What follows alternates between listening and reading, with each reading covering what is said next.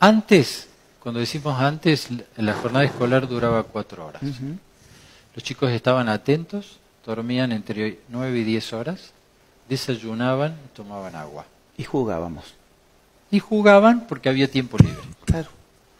En este momento, la jornada, la, jornada infa- la agenda infantil dura 14 horas. Duermen entre 6 y 7 horas reales, no descansan, no desayunan y no toman agua. Entonces, la epidemia de trastornos de conducta que necesitan un acompañante, ¿es real o es producto de la agenda infantil?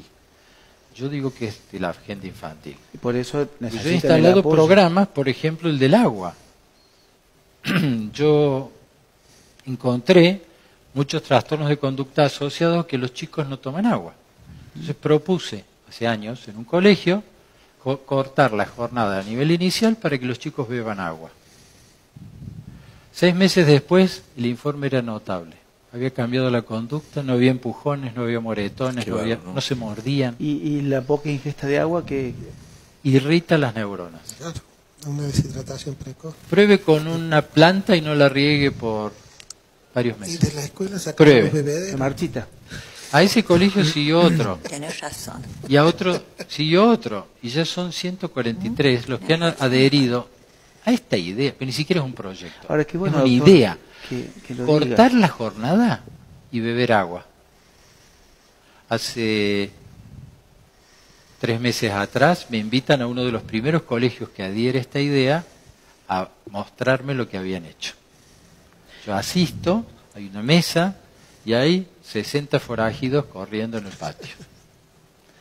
La seño, con voz muy queda, cuando yo llego, dice, la hora del agua. Y los chicos hacen silencio absoluto y rodean la mesa y toman un vasito cada uno y, y se quedan esperando.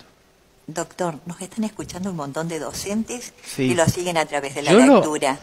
yo Eh, les es el propongo momento esto, para de- de implantar esta idea. El momento Claro. de implantar porque acá no hace falta nada excepto la decisión de interrumpir la jornada.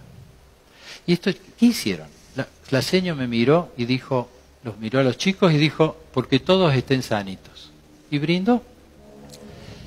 Y mirando al que seguía, propuso que los chicos brindaran. Y me mostraron que los chicos voluntariamente y el que quería brindaba. Y un pelirrojo dijo, porque me regalen la bici. ¡Eh! Y brindaron. Y otro dijo, porque mi mamá se cure. Y brindó. Y otro al rato dijo, porque mi papá no le pegue más a mi mamá. Cuántas Todo lo que expresiones. surgió, Entonces, todo lo- a mí me conmovió que esto no era solo agua, era el momento. Mm. Claro.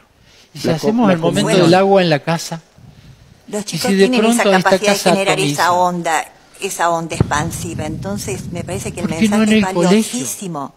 acabo de recibir de un colegio de Córdoba fotos de los chicos brindando. Me da escalofríos decir que solamente el agua cambie mucho de las epidemias que estamos nombrando y dejemos de te- tener acompañantes terapéuticas, bebiendo agua, desayunando. ¿Usted quería estrategias? Sí, Hay. ahí.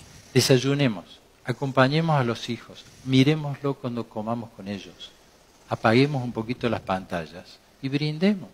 Con agua.